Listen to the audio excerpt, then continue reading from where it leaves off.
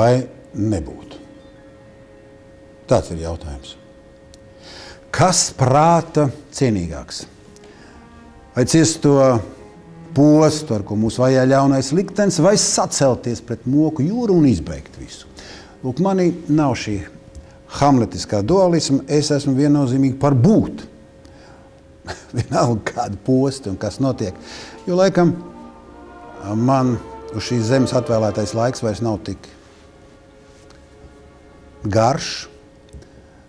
Es esmu ļoti raibu mūžu piedzīvojis, un, un šodien, domājot par savu bērnu un mazbērnu nākotni, es gribu, cik manās iespējās, izcelt saulītē speciālā prožektora gaismā varbūt tos cilvēkus, kas domā līdzīgi man, kas domā par būt.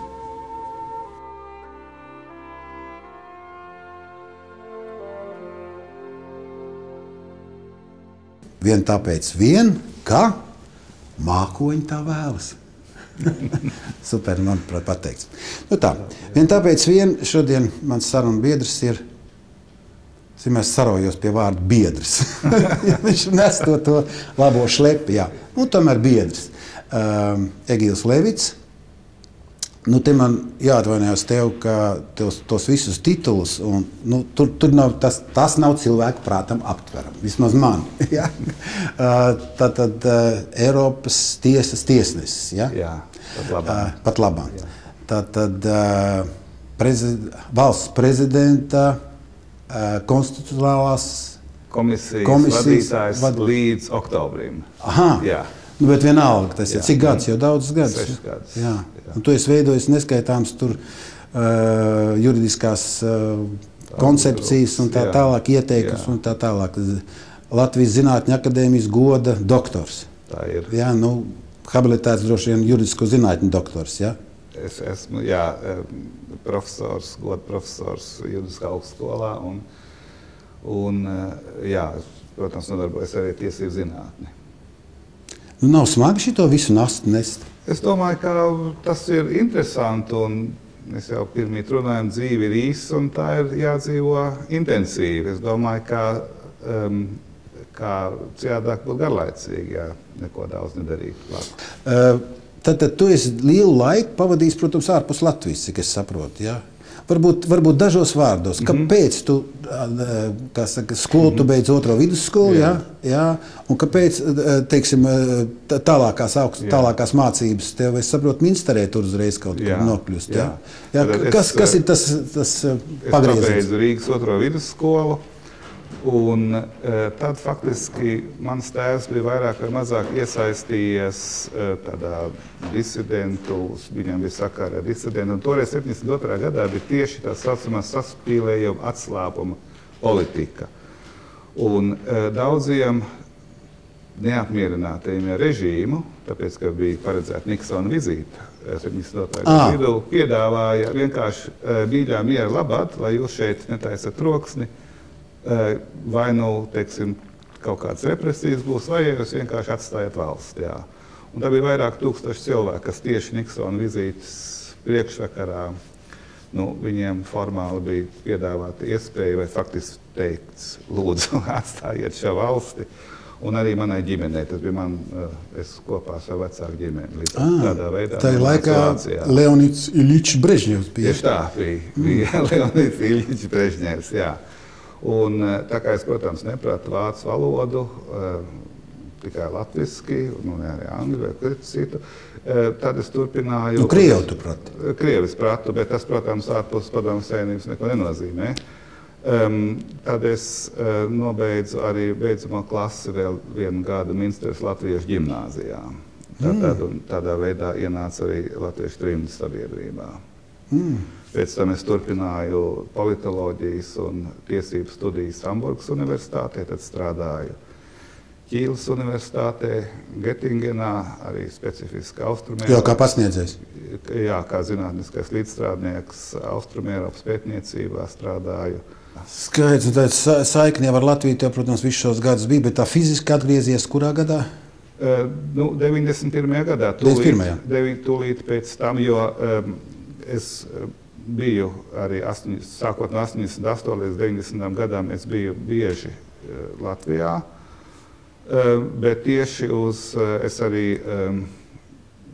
nu, sagatavoju koncepciju 4. māja neatkarības atjaunošanas deklarācijā, bet tas laikam nepatika dažiem politiskiem spēkiem. Un tieši uz 4. maiju, kad bija paredzēta eh, šīs deklarācijas pieņemšanas, tad eh, Krievi man apcietināja un izraidīja. Un tāpēc es līdz brīdim 91. gada 21. augustam eh, nevarēju būt Latvijā. Teiksim, es biju uz melnās, melnajā sarakstā un netika. Un tad, sākot atkal 91. gada 21. augustu, tad, protams, ka Latvija tad atguva pilnu neatkarību. Tad es atkal biju šeit un sāku strādāt uh, toreiz augstākajā padomē un konsultēju valdību. Nu, lūk, nu, tagad pietuvosimies šodienai. Uh, nu, kā izskatās? Tu esi tomēr vēl joprojām arī daudz ārpusē, ja? nu, ar saistītā ar, ar, ar, ar Eiropas tiesu un saistībā ar tavu kā vēstnieku darbu gan Vācijā, gan Austrijā, gan Šveicē, gan Ungārijā. Uh, Eh, kā, kā izskatās Latvija no ārpuses?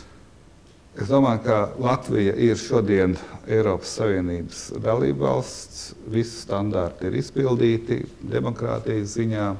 Taču, eh, ja mēs salīdzinām to, kā cilvēki uztver savu valsti un savu nāciju, tad mēs varam redzēt, ka šeit ir krasa atšķirība starp to, kā latvieši uz, uztver savu valsti un kāda ir cilvēku atbildības sajūta pret savu valsti un kā tas ir teiksim, e, citās e, Eiropas valstīs, ir sevišķi e, tā saucamajās vecajās demokrātijās. Un tādas diskusijas, kas pie mums ir par to, vai Latvija, teiksim, vai Latvija ir ilgspējīga, vai latviešu nācija drīz neizmirs un tā tālāk. Tas ir tiešām nekur citur tādā veidā tik mazdūšīgi un tik nedroši par savu nāciju un par savu valsti nedomā. Nu, cik es saprotu, islandieši, cik es zinu, islandieši ir 300 tūkstoši. Ja? Viņam, man liekas, nekad nav domas, ka viņam nevarētu būt sava valsts un nevarētu būt sava. Sa, savu, savu, savu, savu nāciju beigties. Jā. Jā. Kaut kā es domāju, ja kādam islandietim to teikt, viņš brīnīsies un domās, kas tā pa jocīgu domu. Kā, kāds var būt? Jā, jā tā kā um, tas, vai eksistē nācija vai eksistē valsts, nav atkarīgs no skaitliskā uh, daudzuma, cik cilvēku tur ir. Teiksim, jūs, tu minēji, nu pat 300 tūkstoši islandieši, latvieši ir pusotru miljonu, visā Latvijā ir 2 miljoni iedzīvotāji. Tā kā daudzreiz lielāk arī Luksemburgā, kur um, es teiksim, ikdienā uh, strādāju, darbdienās, tas ir, tur ir 400 tūkstoši iedzīvotāji. Arī, protams, ir, ir neviens par to nedomā, ka Luksemburga kādreiz varbūt nebūtu ilgspējīga. Bet mums šī doma ir, un es teiktu, ka tas ir. Um, tas joprojām ir eh, šīs ilgstošās okupācijas eh, tiksim, mentālās sekas, kas pie mums ir, jo mēs neesam vēl īsti pieslēgušies tai rietumu domāšanai, mm. kur mēs de facto atrodamies kā Eiropas Savienības dalība valsts. Nu, tad, tad būtībā pasaki, nu, ka, kas tavā, tavu prāta ir tie nu, tie klupšanas akmeņi. Kāpēc jā. mēs esam tik, tik maz paša, pašapziņu vārgi? Jā, jā. vārgi pašapziņa, nevis cilā ziņā vārgi, bet vārgi nu, pašapziņa. Nu, es domāju, ka um, tur ir jāpaskatās dziļāk uh, šie iemesli. Un šie iemesli ir vairāk. Es teiktu, visnopietnākais iemesls, svarīgākais iemesls, kādēļ tas tā ir, ir tas, mums tomēr jāapzinās, ka latvieši trijās paudzēs viena pēc otra, bija izolēti un bija izolēti telpā, respektīvi bija ieslēgti Padomju Savienībā cilvēki. Tas bija nu ļoti, ļoti reti, kas varēja kaut kur izbraukt.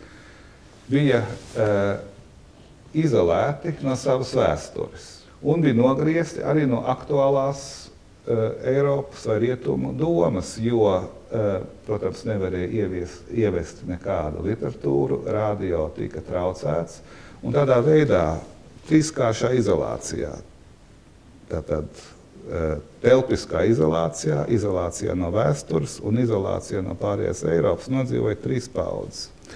Vienlaicīgi šīs paudzes bija ļoti arī um, um, nu, tās pārdzīvoja ļoti stipras represijas, un tas radīja cilvēkos teiksim, tādu apziņu, ka par to nevar runāt. Tas bija daļēji bailes, bet tas arī ir psiholoģiski. Tad, ja tev ir nodarīts ļoti, ļoti pāri, tu nevēlies īsti par to runāt. Un viss šitas, eh, šie faktori noved pie tā, ka valsti atjaunojot, eh, teiksim, un valsts tika atjaunots tiešām atjaunota faktiski revolucionārā ceļā, jo pēkšņi pazuda bailes no padomu sistēmas represijām. Tas bija ļoti spēcīgs jautājums, bet viņš nebija komplekss jautājums. Būt vai ne? Tu tagad runā par 41. gadu? Nē, nē, es runāju par, par 90. 91. gadu. Jā, par 90. gadu. Tas bija jautājums, būt vai nebūt. Mēs atrodamies šeit, tavā klubā Hamlets. Jā. Tas bija hamletisks jautājums. Tieši tā. Latviešiem tas bija uzdots. Viņš bija smags jautājums, bet tajā pašā laikā vienkārši divas atbildes - būt vai nebūt. Un gandrīz visi latvieši teica, būt. Jā. Bet tad, kad valsts funkcionē ikdienā, tas, protams, ir šis jautājums būt vai nebūt, ir, um, ne, nav vairs tādā ļoti tādā, nu, vienkāršotā formā. Viņš tā kā kļūst pašsaprotams, pašsaprotams. Līdz ar to tu no tā aizēji prom. Jā. Tu sāc domāt par savu banānu, kurš tev ir vai Jā, nav. Tieši tā par banānu, tu sāc domāt par skolām, par jā, pensijām, jā. par algām, par jā. to, darba drošības noteikumi netiek izpildīti un normālā ikdiena. Un līdz ar to arī um, šī ir demokrātijas ikdiena, un tas arī pareizi tas tā ir. Bet tas, um, lai demokrātija pareizi funkcionētu un labi funkcionētu, tā nefunkcionē pat no sevis. Tā nav kaut kā dabas dota kārtība. Tas nozīmē, ka katram cilvēkam savā, savā pozīcijā, kur tas atrodas, ir zinām pienākumu vai zinām izturēšanās, kā viņiem jāizturas, lai visiem kopā -hmm. šī sabiedrība un šī valsts funkcionētu. Un to tieši šo kādā veidā izturēties demokrātijā, to īsti neviens nebija apguvis un arī necentās pēc tam īpaši apgūt. Un līdz ar to es teiktu, ka tad visas tās negācijas, kas ikdienā ir, tas ir radīja tādu, teiksim, es teiktu, beidzamos desmit gados tādu tika fokusētas vai tiek fokusētas uz valsti, ka valsts lūk negādā, nedarbojas pareizi. Nu, jā. Nu, mēs jau tikām visu laiku mācīti, nu, vismaz es uzaugu, un es pat ticēju pašā sākumā. Ja? Sekot vadonim, jā. sekot gaišai idejai. Jā. Un ideja nemaz slikta nebija, kāpēc jā. nedzīvot komunismā. Jā. Ja? Jā. Jā. Tikai vēlāk, studējot, es sapratu, ka tas ir utopiskais, jā, jā, jā. ka tā ir utopija. Ja? Es gribētu vēl, vien, vēl pa ceļam noskaidrot ja, vienu lietu, ko, ko tu domā par to, ka vai mēs no 41. gadā, ja, nu, tomēr pasties vecās kronikas, ka ļoti daudz bija, kas ar puķiem sagaidīja un stāvēja. Nu, labi, varbūt tie bija kaut kur sainspirēti vai sasaukti, sastumti, Jā. bet netic, ka tas tā varēja būt īsti. Mm -hmm. Varbūt tas bija tas no tiem. Četri, piedod, 40. gadā. gadā jā, 41. Jā, atkal jā, bija cita ar puķiem. Jā, jā, jā, jā. Vai, vai, vai šis nav mums tas latviešu nācijas šis, šis, šis dalījums, šis, mm -hmm. šis, šis nu, latviešu jā. strēļķi? Ja? Jā. Ja? Uh, nu, tā ir. Man jāsaka, tas, tas nav netipisks. Tas ir diezgan tipiski uh, apspiestā sabiedrībā, ka cilvēki uh, nereflektē. Nu, neanalizē situāciju, un vēl jau mazāk viņi ieraujās sevi un, kā sakot, lai nenonāktu arī konfliktā ar varu. Jo vēl, vēl viens moments, kas ir ārkārtīgi svarīgs toreiz, bija un proti tas, ka cilvēki baidījās viens no otra, vai nav kāds stukačs, tu jau nevarēji brīvi runāt. Un es atceros, piemēram, nu, mans tēvs tajā ziņā bija citādāk, un viņš ar mani runāja, bet tikai tāpēc, politiski, tāpēc, ka viņš nevarēja apkārt runāt. Viņš tāpēc runāja ar mani, lai, un tāpēc es, man bija no paša sākuma cits, citi priekšstati. Bet, eh, bet, eh, un, protams, arī pieteicis tikai nestāstu to skolā, ko mēs tagad šeit runājam. Mēs klausījāmies, protams, Amerikas balss un BBC un, un pārējos raidītājus. Ar, un, uh, mums katrā ziņā tā problēma tas, ka latvieši nav, teiksim, spēruši šo soli, vai teiksim, labi, ir spēruši, bet nepietiekoši platu šo soli, šo savu saskatīt savu personisko uh, līdzatbildību par šo valsti. Katra atsevišķi. Katrs atsevišķi, teiksim, pats personīgi, piemēram, sākot jau ar to, kādā veidā tu vēlē, kādā, par, par ko tu vēlē, vēlēšanās. Tas ir tas absolūtais minimums, kas ir. Un tur, protams, ir ļoti rūpīgi jāizvērē, lai tu korupteļus nevēlētu un visādus citus cilvēkus, kuriem labāk būtu tālāk no varas. Bet, ja mēs apskatāmies, kas ir ievēlēti, tur acīm redzot, šāds, šāda vērtīšana nav īpaši notikusi vēlētāju, vēlētāju vidū. Nu, un es domāju arī to, ka ka mums ir zināms spiediens, tas tātad spiediens um, gan no uh, krievu valodas, gan arī no globalizētās pasaules. Mums šķiet, ka, tas, ka mēs kaut kā tā īsti to nevaram izturēt. Bet, man, bet tas tā absolūti nav. Piemēram, tas, ka latvieši savā zemē uh, bieži pāriet uz citu valodu, runājot ar savas valsts iedzīvotājiem, nu, tas ir ārkārtīgi neparasti. Man grūti atrast citu, citu piemēru, kur tas tā ikdienā nu, jā, nu, bet tā kā, teiksim, Man bieži vien, eh, kad es runāju ar kādu krievu, nu, tā skaitā Baltkrievu, viss, kas runā krieviski, man teiksim, tāds lepnums, ka es runāju krievu valodā tikpat labi un dažkārt pat labāk, jo savā laikā literatūru es lasīju tikai inostrāna literatūra. Tur bija jā. Sartris, tur bija Kafka, tur bija citur jau neko nevar izlasīt. Un krievu valoda nu, es neteiktu, ka bagātāk, bet līdzvērtīgi latviešu valodai. Jā. Un, ja tas nemāk to latviešu valodu, negribas mocīt, man gribas paspīdēt ar to, un es runāju jā. Jā, tajā valodā. jā, tas varētu būt tādā situācijā, kā teiksim, ir runa par tādu valodu, kurā, uh, kurai nav pretenzijas būt sarunvalodai mūsu valstī. Aha. Un, uh, tādā gadījumā tas būtu problēma. Tāpēc es arī redzu, teiksim, ja Latvija. Bet es domāju, ar Latvijas iedzīvotājiem, kur dzīvo mūsu valstī šeit pat, es domāju, mums ir valsts valoda, un tā ir domāta arī tieši tādēļ. Un tur es tev piekrītu. Teiksim, 4. pāns kā kopējā saziņas valoda. valoda jā, tur es piekrītu. Ārzemniekiem, protams, ir citādāk. Teiksim, tur būtībā jau arī, ja mēs aizbraucam uz ārzemēm, ja, piemēram, tu aizbrauc manis pēc uz Turciju, ar tevi neviens nerunās latviski. Ne? Un, Un kāpēc, lai, ja kāds atbrauc no Turcijas, vai no Krievijas, vai no Amerikas uz Latviju, tev, tev jāpiemērojas? Nu, protams, ir turistiski apsvērumi un tā tālāk. Es domāju, tas viss ir, viss ir akceptējams, bet regulāri, kā teiksim, Latvijas valstī, mūsu valoda neieņem to lomu, kādai būtu vajadzīgs ieņemt valsts valodai. Tas ir visās sfērās, kā sarunu valoda un kopējā valoda visiem, neatkarīgi no cilvēka individuālās, eh, teiksim, nacionālās piederības vai dzimtās valodas vai ko. Tas ir valsts valoda, tā ir valsts valodas funkcija. Un šāda situācija, kā mums tagad ir, eh, lielā mērā atgādina to situāciju, kas bija 19. gadsimta varbūt vidū, ka latvieši atbrauc uz Rīgu un, lai tu dabūtu darbu un, un tev vajadzēja runāt vāciski, un tad daudz pārgāja uz vācu valodu, un latviešu valoda palika tikai kā ģimenes valoda. Arī jaunatvieši, kas to, to sāk apzināties, viņi jau arī savā starpā bieži runāja vācu valodā. E, un arī savās ģimenēs. Kā, un, nu, un es domāju, ka tas tomēr nav tas, kā mēs redzam vienu pašapzinīgu nācija, pašapziņīga valsts Eiropas vidū. Nu, kas būtu tie, tie, tie galvenie, tās galvenās ceļzīmes, kas mums būtu jāiz, jāizliek, lai šo nacionālo patriotismu tomēr? Jā, nu, ne tikai, ne tikai nacionālu, bet arī nu, kaut vai valstisko patriotismu. Jā, jā, un es domāju, ka tas ir um, nu, būtībā jau viss, visa dzīve ir faktiski apziņas jautājums. Eh, kā tu redzi sevi, kā tu redzi apkārtni. Tas ir samērā vienkāršs jautājums. Nu, jā.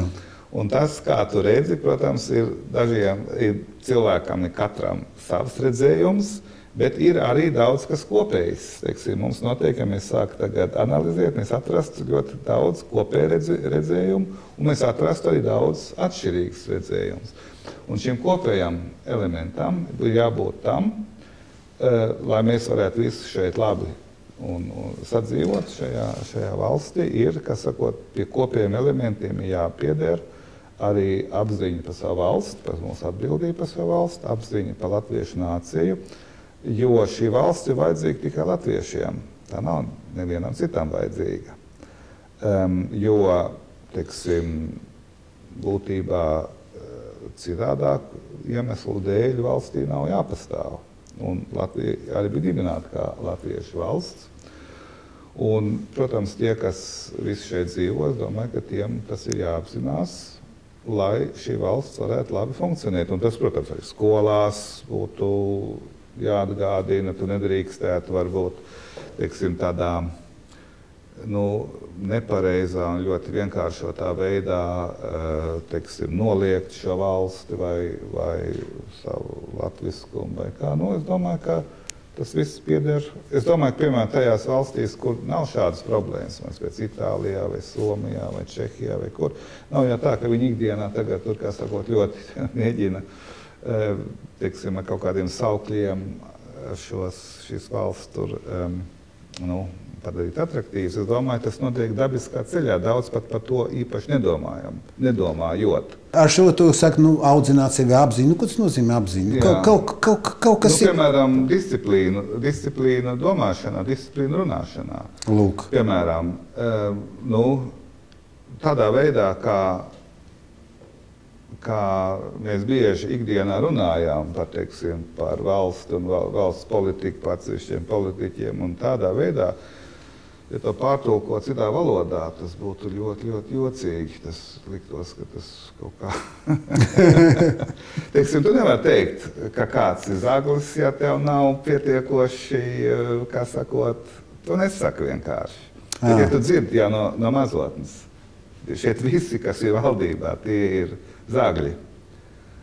Un tu tā uzaugi, tu sāc arī tā tiešām tā domāt. Un, un, un ja, šī, ja viss ir, piemēram, ja viss ir zagļi, tad, nu, tad jau es atvaru, kāpēc tad es te vienīgais būšu.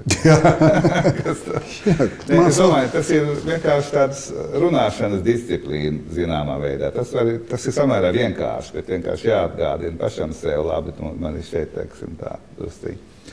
Um, tas būtu viens. Otrs, uh, ko uh, vajadzētu, es teiktu, ir tomēr uh, mēģināt arī Um, nu, tas ir katram pēc interesēm, vai kā tomēr apgūt mūsu tautas vēsturi, mūsu valsts vēsturi, apgūt lielās. Ja es runāju dažiem cilvēkiem, kuri ieņem teiksim, tādas augstas amats, un es redzu, ka tik vienkārši lietas viņiem vienkārši tas nav zināms. Mm -hmm. tā, tā samērā jocīgi. Jo atkal es saku, es vienkārši skatos ar to, kādā veidā tas notiek citās, vai teiksim, Rietumērās valstīs vai ko tas tā nebūtu iespējams, ka šāds cilvēks šādu, šādas lietas nezinātu. Um, nu, tas var būt tā. Uh, tad es teiktu, droši vien mūsu specifiskā situācijā vajadzētu tomēr vajadzības gadījumā pat paciet zināmu, teiksim, ne, teiksim, kādā ziņā man šķiet, ka Latvijā vienmēr un visur ir jārunā latviešu valodā. Tas ir ļoti būtiski, lai radītu tomēr šo valodas vidi. Jo, ja mēs to paši nedarām, kurš to darīs cits, un cilvēkāk mums šī valodas vidi ir sašķelta, un viena daļa iedzīvotāji runā latviešu, viena daļa citā valodā. Eh, un būtībā vēl viens faktors ir, ka uh, ir svarīgi, lai arī šī jaunā paudze ieaug uh, Latvijas vai latviešu informatīvajā telpā. Jo viena daļa iedzīvotāji neatrodas garīgi Latvijas informācijas. Nē, tur jau tā lieta.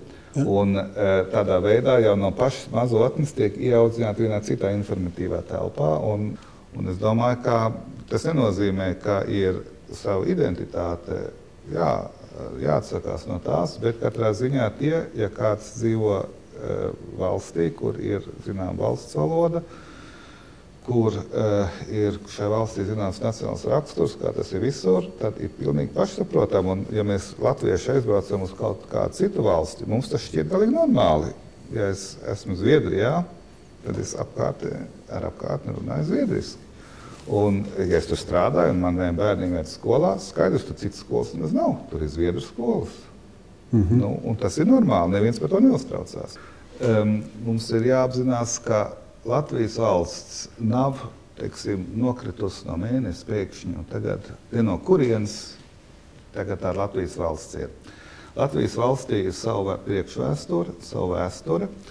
Un Latvijas valsts dibināšanas jēga bija patiešām teiksim, brīvība un arī latviešu zemju apvienošana vienā valstī. Jo tāda vienība, politiska, administratīva vienība Latvija jau pirms tam neeksistēja. Bija kurzemes gubernija, bija vidzemes gubernija, daļa bija Vitebskas gubernijā no latviešu zemēm. Un latviešu nācija, eh, tāpat kā apmēram 15 citas nācijas vidus un austrumu Eiropā, gribēja savu nacionālu valsti un arī to iz, izcīnīja. Un es domāju, ka tas šai valstī, eh, tas ir šīs valsts pamats jēga, kādēļ šāda valsts vispār eksistē.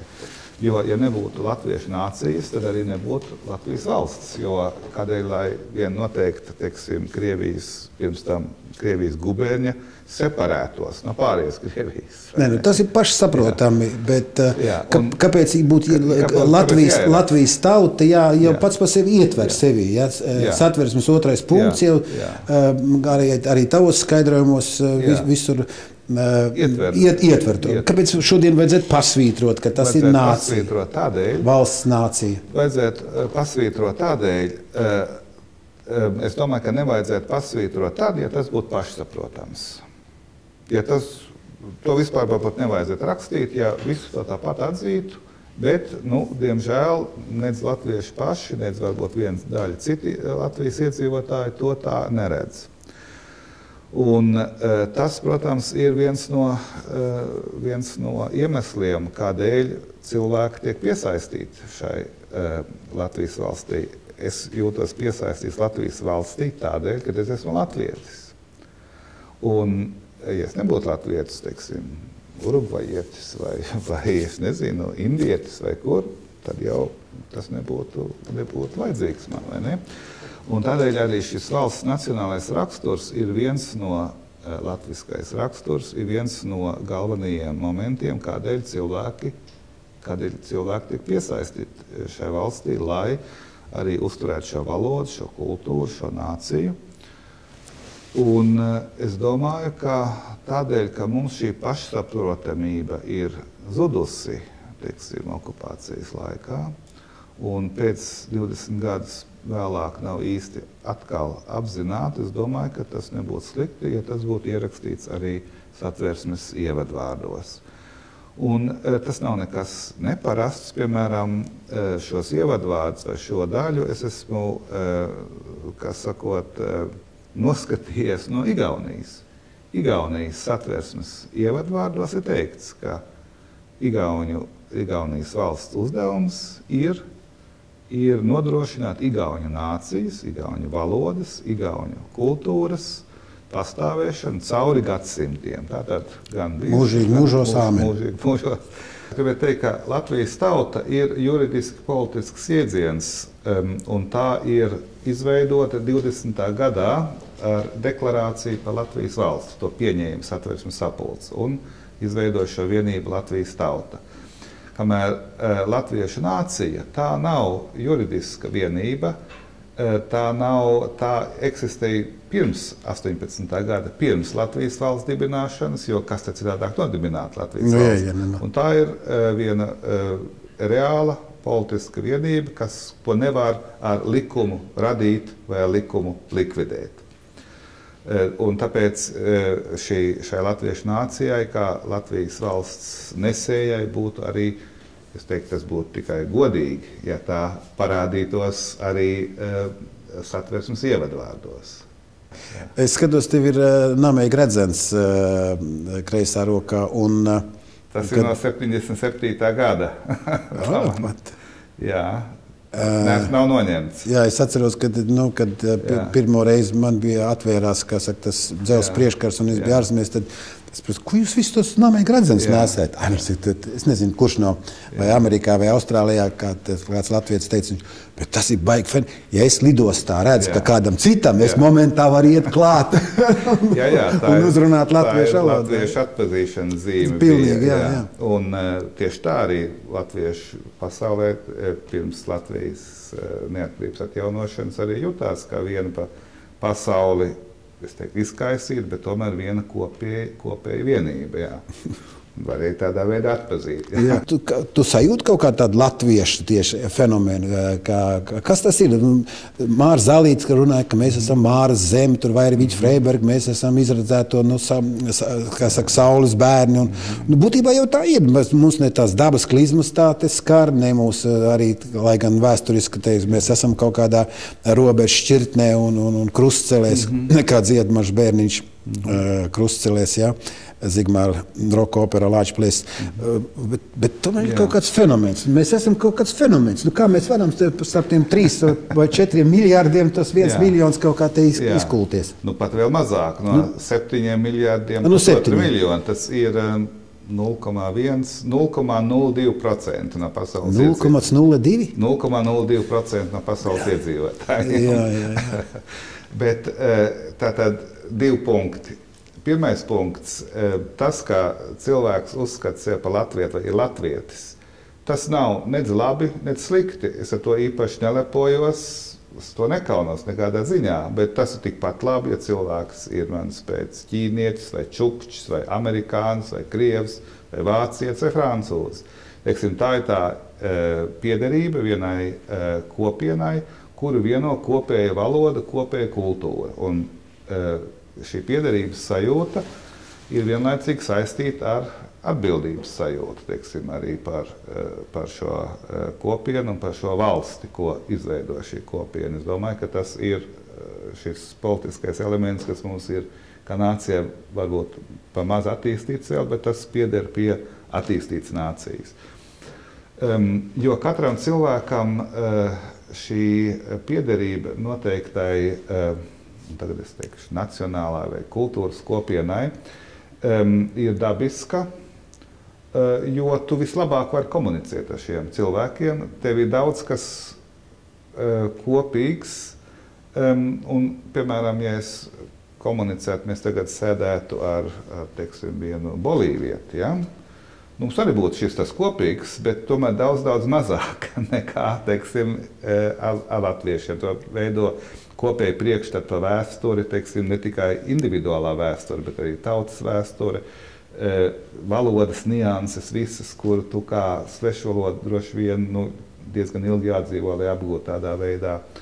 Nu, tas līdz ar to e, cilvēks jau ir sociāla būtne. Līdz ar to es teiktu, dabiski, tas ir diezgan dabiski, ka mhm. cilvēks e, pieder šādai, šādai kopienai. Eh, ir, protams, arī atsevišķas individuālas situācijas, ko tu, tu vari piederēt divām un varbūt pat vairākām kopienām. Teiksim, cilvēki, kas ir dzīvojuši ilgu laiku citā zemē, es domāju, ka viņi tikpat labi apgūst arī to otro, otro eh, kultūru, otro valodu. Un to arī, kas sakot, um, nu, pilnīgi pāriet no vienas otrā, teiksim, pilnīgi bez nekādām, bez nekādām problēmām. Tas arī ir labi, ka tā ir Tā ir, bet nu, cilvēki, lielākā daļa, teiksim, tomēr pieder pie zināmas valodas kultūras kopienas. Un tad, protams, jāskatās valodas, teiksim, tas galvenais varētu būt, un tad ir vēl citi elementi, to visu, ko tu minēji, ko Māra Zālīte teica, un tas ir gan īsti, gan arī, teiksim, tādi priekšstati par šo unikalitāti, un tas ir katrai, katrai nācijai, katrai tautai. Bet atsevišķi uh, latviskais genoms nav izdalāms, ne? Nē, nu, katrā ziņā eh, man šķiet, ka nepareizs priekšstats ir objektīvi nepareizs. Arī, arī eh, ir tas, ka, ka tautība vai, vai kultūra ir iedzimta. Nekādā ziņā nav. Teiksim, mm -hmm. Ja cilvēks piedzimst un vienas dienas vecumā viens latviečs tiek nodots audzināšanā Amerikas ģimenē, viņš, protams, uzauga kā amerikāni. Tā kā eh, valoda un valoda katrā ziņā, valoda un kultūra nav iedzimta, tā ir apgūta socializācijas rezultātā. Kādēļ uzskata, ka tā ir zināmā veidā eh, pārmantota? Tādēļ, ka parasti jau vecāki to nodod tālāk. Ja? Nu, tu runā visu laiku par kultūru, par kultūras mantojumu. Tā, tā. Kas mums 150 gadi, kas tā par kultūru? Te blakus, blakus Krievu lielā kopiena, ja, un Krievu, Baltkrievu lielām, uh, kuriem tu, lūk ir kur, kur kultūras Jā. vēsture, kur ir kur, kultūras pienesums, kas, kur par mēs varētu būt pateicīgi, ka mums ir Dostojevskis, mums ir Puškins, Lermontovs, uh, jauno laiku Pasternaks Jā. un vēl, vēl, vēl, vēl, vēl, vēl. vēl. Jā. Ja? Vai mēs varam tur nobīt mm -hmm. priekšā, kā, kā, kā tādu šķirtni, nolikt Jā. savu raini, vāciet, ziedonu? Ne, nebūs Jā. tie samēri tik lieli. Tātad, tātad ir vēl kaut kāds pluskvam perfektum, kaut kas jāpieliek klāt pie tās latvietības, lai, lai tā kā es intervēju Matijas Knoli. Ja? Mm -hmm. Viņš no Vācijas jā, jā, jau 20 jā, gadu dzīvo jā, šeit, jā. nu, tūko latviešu dzinieks un, un, un literāts. Mm -hmm. un tā.